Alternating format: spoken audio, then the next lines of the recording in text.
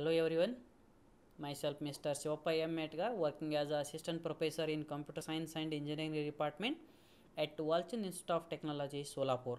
Now I welcome to the session on network layer design issues.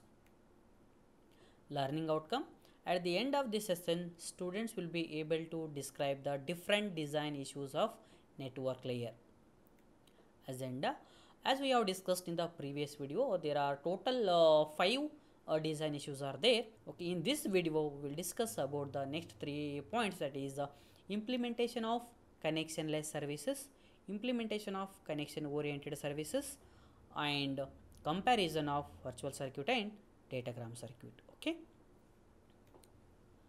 about network layer we have already discussed in the previous uh, lecture like it handles the service request from the transport layer and further forward the services request to the data link layer okay for move and, uh, and the main role of the network layer is to move the packet from sending host to the receiving host okay? Here the two classes of service uh, services the network layer can provide to its user okay? Two main categorizes uh, two different two different uh, organizations are possible depending on the type of services offered. For example here two classes of the services like connection oriented classes uh, this one we have to use for uh, forwarding the packet. Two different organizations are possible depending on the type of the service offered. It means they may use the connection oriented uh, services or connectionless uh, services. It means that depends upon the uh, organization they may use a connection oriented or connectionless. You now they have given the connectionless services is offered packets are injected into the network individually. In network if the user is using the connectionless services first the user can put the packet or inject the packet in the network and without using any physical media between two transmitter he can transfer the data to the next user. Okay? That is uh, the no advanced setup is necessary because here we won't use any con uh, connection between both transmitter as well as receiver. Without using any connection directly he can put the or inject the packet in the network individually and then he can uh, forward the data. So for that no advanced setup is needed. It means directly we mentioned the data. Our datagram are uh, datagrams and data networks we have to use for forwarding that. Datagram is a set of information. Here if connection oriented services we have to use some connection okay? Here directly if, if there is no uh, connection between both a transmitter and receiver directly uh, we have to send the data. Here there is no need to use a network setup. Okay?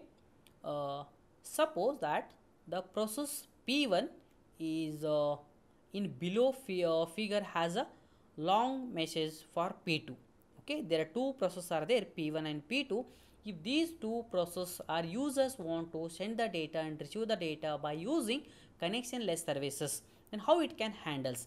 It can it hand uh, hands the messages to transport layer with instruction to deliver it to process process p1 to p1 on host h2 okay this is a simple example is there. Based on this we have to easily get the concept about uh, connection less services here. Two processes are there process p1 and process p2 here this is already we have discussed about this diagram that is isp is the internet service provider and some routers are there and then how we have to send the data by using connectionless concept. Here they have given a stable initially and a stable uh, later and then c stable and e stable. It means these are different routers are there. If the packet can reaches to this particular router what will happen? Okay here the process p1 can forward the data host 1 host h1 can forward the data to uh, router a and in, in this one there is no source and destination directly. Source a is to a is not possible. Here dash is there. And then the b to b is also if the packet moves to the next router b to b is also no that is b to b only and c to c. Here then there is no source and destination. And then e to c if the packet can reach to the e then that time we have for we have two alternate paths. Then we may send to c also. Okay and then f to c because here the some alternates are there. F here you may send the data through d as well as c also. Okay? The, the destination and line they have given this. Through this line we have to send the packet. Based on that only they have given about this one. That is a to a dash and b to b we have to and then uh, c to c and d to b. And then what are the different alternate paths are there to send the data by using wireless concept? And c's table is there. We have to start from c. Here c to c it means there is no destination. C is only how to send the data the c may send the data by using two paths that is the D, c may directly send to the d e r e also and then e to e is no and then f to e we have to send the data. Same thing we have to use for e also okay? And the network layer has to break it into four packets packet 1 2 3 and 4 and send each of them in turn to router a using some point to point protocol. In this uh, below uh, this diagram there are four packets are there. How we have to transfer that only it is there. Okay? Uh, a has that is a router a has only two outgoing lines b uh, to b and to c. So every incoming packet must send to one of these routers because a has two outgoing lines. The a may send the data to b as well as c also. Even if the ultimate destination is to some other routes, uh, router. Okay? At a packet 1 and 2 and 3 also are stored briefly and then having arrived on the incoming link. First all the packets have to store in a a router. Then he can send the data or packet to the next user. That packet 1 2 and 3 he may forward after storing the data. Okay? The packet 1 is then forwarded to e and then f and then to f when it gets to f it is sent within a frame over the lan to h2 because f is there not is not there in a isp that is internet service provided. Whenever the data can passes to f e then the data will f then it will goes to the uh, out of the isp or out of the router then it will reach to the destination side they have given lan that is h2 okay connection oriented how we have to send that by using the same concept by using uh, connection oriented concept. Here for connection oriented services we need a virtual circuit network okay? And then idea behind virtual circuit is to avoid having to choose a new route for every packet sent. Here there virtual circuit it means here the s3 one more is there. That is host 1 is there host 2 is there host 3 is also there here is also we have to send the data by using the connection oriented concept. It means here the user may use some path between transmitter and receiver. By using that the user can transmit the data and here the user can use the virtual circuit. The same procedure whatever we have discussed in the connectionless services. By using that by using that concept you may send the data and receive the data. Here they have given the a table c table and uh, e table also what is a1 that is uh, h1 is there h3 is there that is h1 this one and then h3 this one. By using that they have given the values that is 1 1 that is f1 and then output is c. The data may goes to this one that is c. And here also c table they have given e table also they have given. That is uh, in the previous uh, slide by using connectionless concept he has forwarded. By using the same diagram we may send by using the connection oriented by it means here the user can use some virtual circuit network it is uh, routing within a virtual circuit network.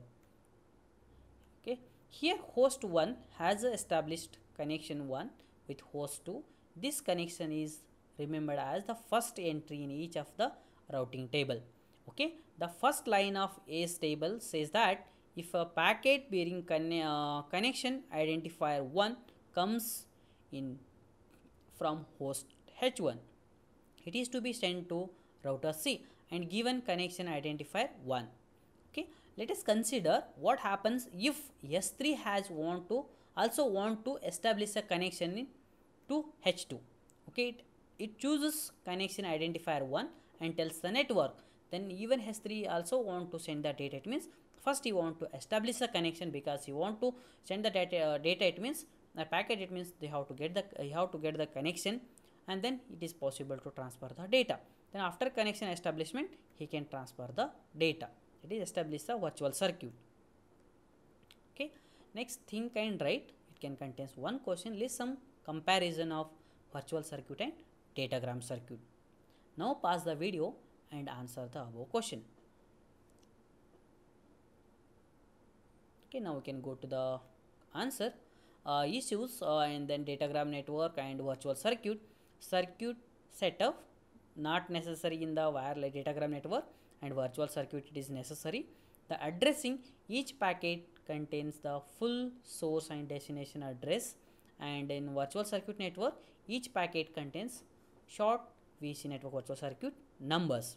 And then state information uh, routers do not hold state information about connection.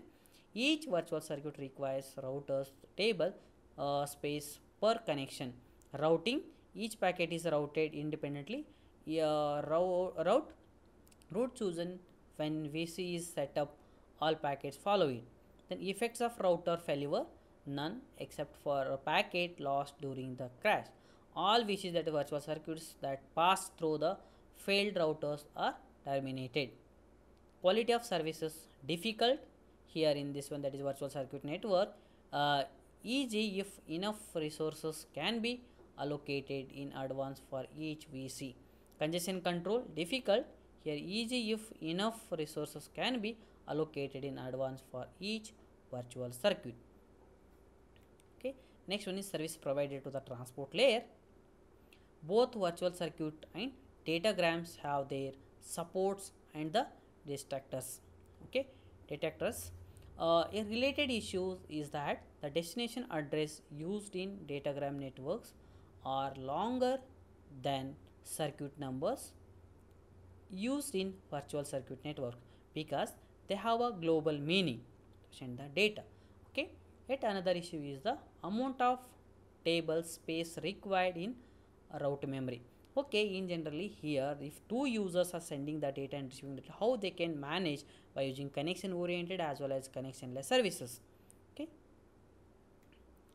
These are the references i have used for preparing the above ppt thank you